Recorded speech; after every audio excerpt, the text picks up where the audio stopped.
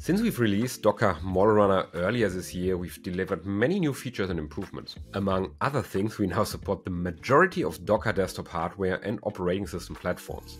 This means support for Apple Silicon, Windows with AMD 64 CPUs and NVIDIA GPUs, and the latest addition, Windows on ARM support for CPU and Qualcomm GPUs. Together with our release of Model Runner support for Docker CE, which allows you to run Model Runner on your Linux box, for example in your CI pipeline, this makes Model Runner available to the vast majority of developers out there. And of course, we continue to double down on the integration across the Docker product ecosystem. So you can expect great support of using Model Runner together with Docker Compose or the various Testcontainers language implementations. We also continue to improve the user experience across our CLI and Docker Desktop uh, GUI integration.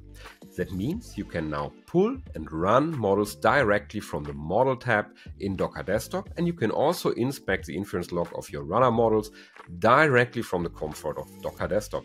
So stay tuned for more improvements and features to be shipped soon. A topic that is very important for us is the new tooling we just released that makes publishing models to other namespaces or even other container registries a breeze. And not only can you now easily push existing models to these new coordinates, we also provide you with tools to package your own custom model files that are available maybe in a GGUF format as OCI artifacts and push them directly to any container registry of your liking, for example, Docker Hub. And all of this just with a single command. So now let's have a deeper look at the commands involved in publishing models. All right, so first let's pull some pre-existing model from Docker Hub that is published in our curated uh, AI namespace. I'm doing a Docker model pull AI smollm2 and I'm using SmolLM2 here because it's super small and therefore it's just perfect uh, as a demo candidate. In this case, I had the model already cached locally, so nothing more to see here. It was just super fast to pull it. Next, I tag it under my personal user namespace and even under a new repository name. So I'm using the docker model tag command and now I'm retagging the SmolLM2 model under Kevin Wittek 112. That's my user namespace, my personal user namespace, and now a new repository name, smollm2 demo. Okay, tagged successfully. And last but not least, let's push it to Docker Hub. So Docker model push, the name of the model we just retagged, hmm.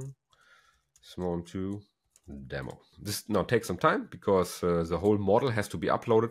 But once it's finished, we can see it appear on my personal hub page. All right, model pushed successfully. We see it just appeared here, updated a few seconds ago. We can check it out. We see here the pull command that I can directly share with the community if they want to now use my model. All right, that was already pretty cool. And now you have seen how you can easily move existing models around, maybe in order to comply with your internal policies. Maybe they need to be in a certain organizational namespace or whatnot. So, but what about publishing a completely new model that you only have available so far as a raw GGUF file.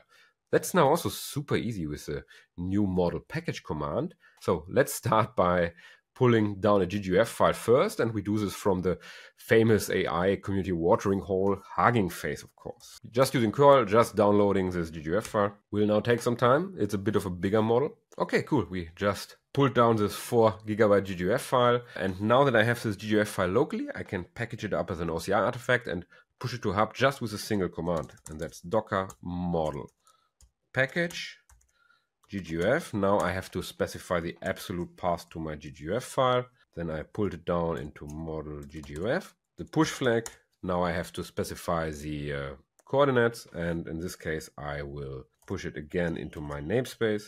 But and let's do here Mistral demo. So please note that we had to specify an absolute path to the GGUF file.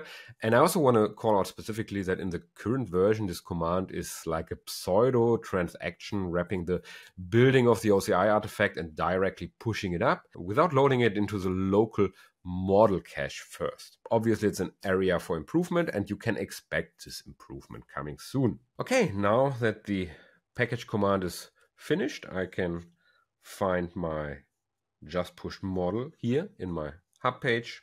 I can navigate to this detail page, give this command to my friends, to my coworkers, to the community, and they can just pull down this new custom model I just pushed and start using it with Docker Model Runner.